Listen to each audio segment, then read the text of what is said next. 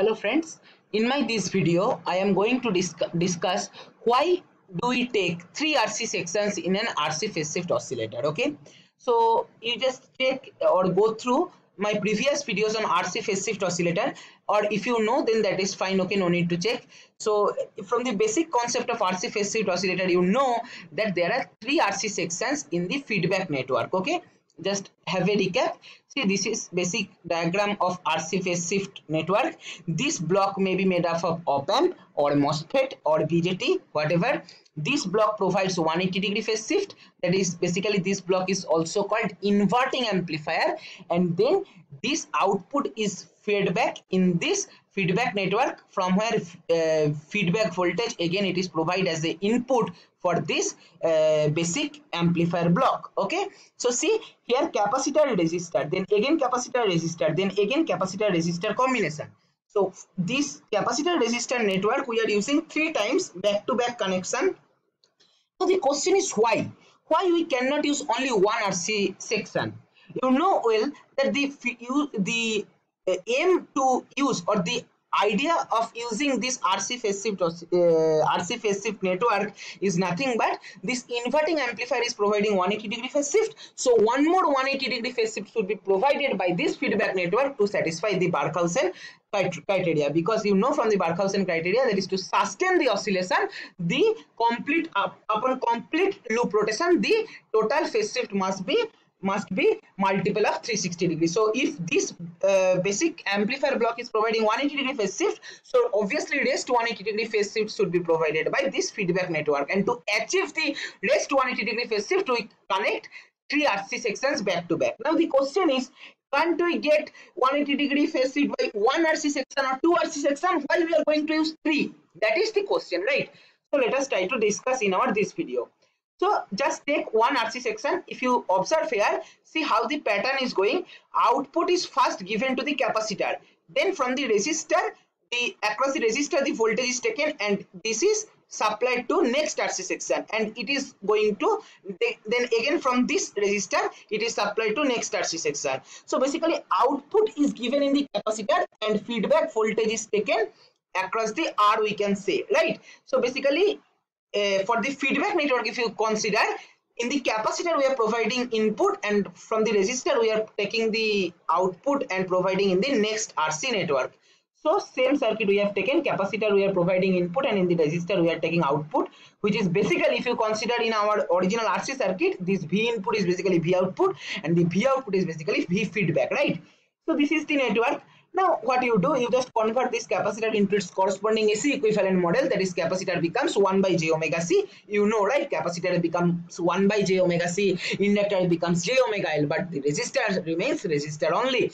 Now if you take the uh, whole that is equivalent impedance of the circuit you will get z equal to r plus 1 by j omega c that is equal to r minus j by omega c because 1 by j is nothing but minus j right now see this is like from z is equal to x plus iy. So what we will do we will take the magnitude and phase. So mod of z equal to root over of r square plus 1 by omega square c square and phi equal to minus of tan inverse 1 by omega rc. Why the minus is coming uh, in the argument expression already I discussed in detail in my previous video. I will post the link in the description. If you have any doubt you can check there okay.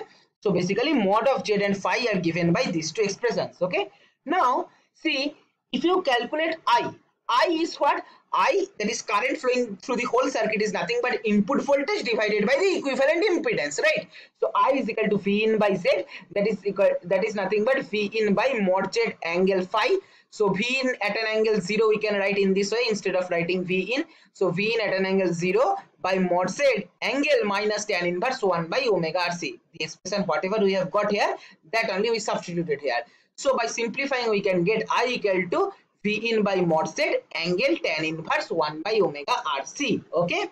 Now, I expression we are getting like this I equal to V in by mod Z angle tan inverse 1 by omega RC.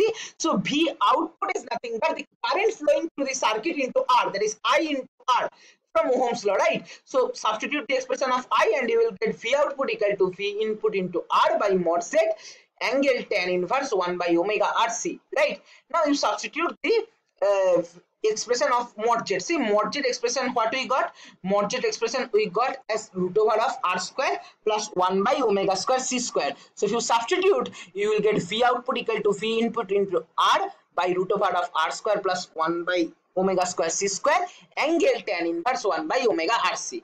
Fine.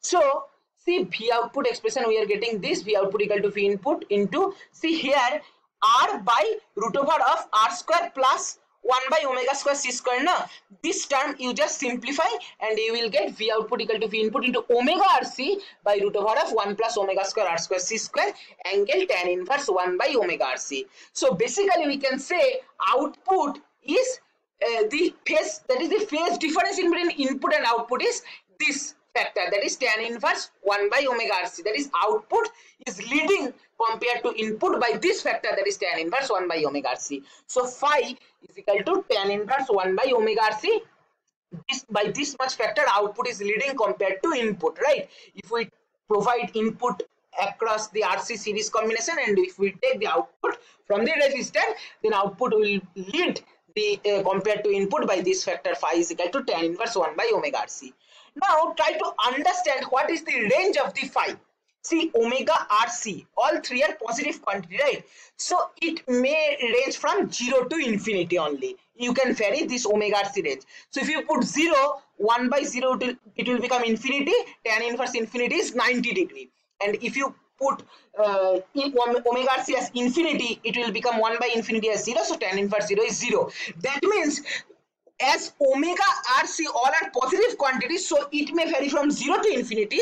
As a result phi will vary from what to what? 0 to infinity only. Sorry 0 to 90 degree. That is in between 90 degree and 0 the phi value will be there. Whatever value you uh, design for omega rc. That means one rc phase shift network max can maximum provide 90 degree phase shift okay? So by one rc phase shift network is not at all possible to achieve 180 degree phase shift so the one possibility is omitted from our uh, options we have started with three options right that is one is conventional three rc sections connected back to back in the rc phase shift network one may be two rc uh, connections in the RC phase shift network. Another one is by single RC RC network. Can we achieve 180 degree phase shift? And the answer is no, because phi maximum is 90 degree for the RC phase shift network. So what there is no possibility to get 180 degree phase shift by one single RC phase shift network. So now our attempt is for two RC phase shift network. So now question is whether by applying two RC connections back to back can we achieve 180 degree phase shift? The answer will be no. Just now you will understand. So if we want two RC, if we want to achieve uh, the 180 degree phase shift by two RC connections and you as you know both can provide maximum 90 degree phase shift. So we can say that each RC section should provide at least 90 degree phase shift to get overall 180 degree phase shift by two RC sections of RC phase shift network right? So phi should be 90 degree okay? So tan inverse 1 by omega rc phi expression just put. Tan inverse 1 by omega rc should be 90 degree. That means omega 1 by omega rc is nothing but it should be infinity because tan 90 degree is infinity right? So tan inverse 1 by omega rc equal to 90 degree 1 by omega rc equal to infinity. Now how can we make such a design by which you can achieve this uh, this combination that is 1 by omega rc equal to infinity? Either this, indicates omega is equal to 0, right? That means either omega equal to 0 or r equal to 0 or c equal to 0. Okay, whatever possibility you take, within these three possibilities, it must satisfy, then only omega c will become 0, right? Now, I understand it very clearly. This is the expression for the output voltage, that V output equal to V input into omega rc by root over of 1 plus omega square r square c square angle tan inverse 1 by omega c, right? Forget about this angle or phase part. Just consider the magnitude part. Suppose any of these three condition is applicable for your circuit either omega equal to 0 or r equal to 0 or c equal to 0 you just put in this expression and see what you are getting. As soon as you put either omega equal to 0 or r equal to 0 c equal to 0 this magnitude part will become 0 that means v output will become 0 that means you basically practically you can never achieve 90 degree also by a single rc uh, RC series connection. Why? Because at the extreme case that is when phi is equal to 90 degree among these three at least one should be equal to zero and as soon as the either omega or r or c becomes zero you just put omega or r or c equal to zero in this expression you will get output voltage as zero that means as soon as phi equal to 90 degree um, the output provided by the rc connection if you take the output across the resistor it will become zero so there is no question of getting 90 degree phase shift your output itself is coming as zero how can you measure phase shift in that right so basically that's what the conclusion is you cannot achieve you cannot achieve 90 degree phase shift also by a single RC network. So that what is the conclusion? The conclusion is by a single RC phase shift network, you can get phase shift in the output. If you take output across the resistor, you can get phase shift, which is whose range is in between 0 and 90 degree. It cannot be 90 degree. Its range is between 0 and 90 degree. Okay. So now obviously uh, symmetric configuration we will take. So what we design? We design the circuit in such a way that the first RC network provides 180 degree, sorry 60 degree, then again 60 degree by another RC circuit, then again 60 degree by another RC circuit. So 60 plus 60 plus 60 will become 180 degree. Okay, so in this way we take uh, the uh, three RC connections for RC phase shift network to achieve 180 degree phase shift in the feedback network okay? So you it is possible that you divide 180 degree by 4 into 4 parts. So 4 45 degree phase shift means 180 degree right? So you can add four RC connections back to back and you design your circuit in such a way that each will provide 45 degree phase shift then also you can achieve 180 degree phase shift by the RC phase shift network. That is also possible.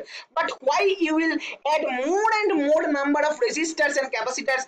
Uh, means you know right that resistor has its own loss power loss is there the circuit will become heated up the frequency will become temperature dependent because resistor will become temperature dependent. So always try to ignore apply more number of resistors in a circuit right? Modern circuits are not at all we are using resistors. Instead we are applying uh, nowadays we are applying crystal oscillators which is less temperature dependent which uh, overcomes the disadvantage of rc and lc network. So that is different issue. So basically this is the idea to use three rc network back to back to get 180 degree phase shift. You cannot get 180 degree phase shift by two or one rc network. I hope the concept is clear to you so this is all for my this video. For more videos related electronics and communication engineering, please subscribe my channel and don't forget to press the bell icon. And if this video helps you to boost your concept in analog electronic circuit, please like, share and comment. Thank you for watching.